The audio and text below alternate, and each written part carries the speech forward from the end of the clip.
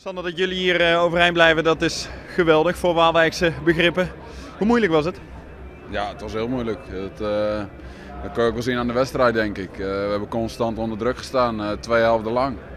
We zijn er een paar keer gevaarlijk uitgekomen en ja, we waren op die penalty na behoorlijk efficiënt vandaag. Wat was het strijdplan met al die blessures en ja, zonder snelle rappe man op de vleugels? Nou ja, we wilden veel diepgang vanuit het middenveld creëren met, eh, met ballen achter een verdediging. Maar eh, ja, we stonden zo onder druk en eh, daar, daar zijn we eigenlijk geen moment aan toegekomen. Het was eigenlijk alleen maar lange ballen paré, zoek het uit en hopen dat hij hem vasthoudt. En, ja, dat was, dat was wel jammer, want ik denk dat, dat er zeker mogelijkheden waren om te voetballen hier. En dat hebben we een aantal keer ook wel gedaan, maar veel te weinig. Kan me voorstellen dat je comfortabeler op het veld staat als je domineert en ja, het een beetje kan bepalen. Eh, dit was eh, ja, achteruit voetballen. Toch het besef kwam wel hè, in de tweede helft, denk ik. Ja, op een gegeven moment gaan zij natuurlijk meer risico's nemen. Eh, ik denk rond de 70ste minuut ongeveer. Da- dan, dan willen ze toch die gelijkmaker forceren.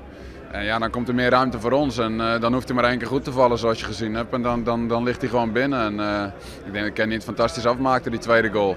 Daarna kun je ook misschien nog 3-0 maken met eh, Kenny en, en Auré. Maar ja, op het laatste is toch nog even billen knijpen. Ja, op dat moment had het eigenlijk al beslist kunnen zijn. Je mist een pingel. Zit je nog even bibberend op de bank dan van oei, het zal toch geen hele dure misser worden? Ja, tuurlijk. dat zit wel in je achterhoofd. En, kijk, eh, kijk, ik had er nog geen één gemist, maar dit was wel ontzettend belangrijk. Eh, Kijk, als je op 2-0 komt, dan, dan is denk ik de wedstrijd op slot. Want daarna krijg je nog meer ruimte denken en dan zul je misschien verder uitlopen.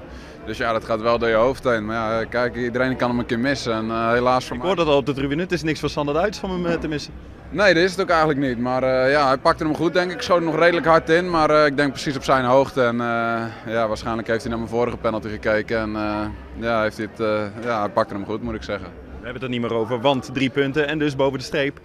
Het verschil tussen winnen en verlie- of verliezen is het verschil tussen heksluiter zijn en boven de streep staan. Hoe zoet smaakt deze overwinning? Ja, heel, eh, die, die smaakt heel zoet. Kijk, voor de wedstrijd dan, dan, dan hoor je iedereen, ja, eh, ze missen die, ze missen die. Ze, eh, Duitsers half, Snow is net uitgevallen. dus ja, het is van tevoren even puzzelen. En dan als je ziet hoe de Panther in de goal, ja, dat is, on- dat is zijn bijnaam bij ons trouwens, hoe Van Dijk in de goal staat. Wat, wat was het bijna? Ja, we noemen hem altijd de Panther, hè, dus dat... eh, Leg uit. ja, nee, op de...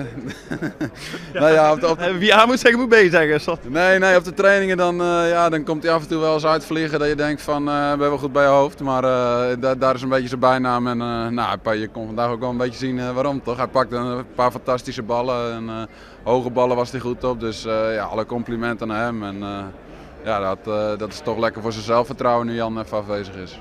Zo, en het is na weken onder de streep weer boven de streep. Extra kalkoenetje bij de kerst zit eraan te komen. Nou ja, kijk, we hebben nog een wedstrijd. Hè? Die is wel tegen Twente, maar wij zijn meestal tegen de, tegen de wat hoger geclasseerde clubs zijn we nog beter. Dus eh, ik hoop dat eigenlijk eh, nog een kalkoenetje erbij komt. Al eh, weet ik niet of ik die kan hebben met het percentage wat ik heb. Maar ik hoop eigenlijk nog een kalkoenetje erbij voor, van volgende week. En daar gaan we alles aan doen. En ik denk ook zeker dat het mogelijk is. Je begon half aan deze wedstrijd, zei je net. Hoe is het nu? Nou ja, kijk, eh, je slikt gewoon eh pijnstillers eh, de hele... de, ja, eigenlijk vanaf gisteren. En ik heb er vier en dan, dan probeer je het zo lang mogelijk door te, vol te houden. En nou, dat was vandaag 70 minuten. En, ja, het ging gewoon niet verder. Het werd stijf en dan ben je bang dat, dat, dat, dat er misschien wat meer met de spier gaat, gaat gebeuren. Maar ja, goed, het is goed ingevuld, gelukkig. En nu gaan we proberen weer op te lappen naar Twente. En dan is die winterstop hoog nodig voor mij. Wie wint eh, voelt wat minder pijn, denk ik. Ik hoor hier in de catacombe alweer, eh, dit doen we maar weer mooi met een Jubilair League begroting. En nou trots naar huis toe. Ja, tuurlijk. Gaat wel een beetje trots naar huis. Maar toch vind ik nog eh, niet helemaal tevreden. Want we hebben gewoon te weinig gebracht vandaag. Te weinig gevoetbald. En je wil natuurlijk als ploeg altijd de bal hebben. En je wil altijd domineren. Nou, daar hebben we de ploeg niet echt voor. Dus, dus moet je meer inzakken en, en wat behoudender spelen. En vanuit daar voetballen. Maar dat hebben we gewoon te weinig gedaan. En dat moet echt beter. Want vandaag blijf je denk ik toch met wel een beetje geluk op de been. En eh, dat mag ook wel een keer. Maar het, het moet echt beter.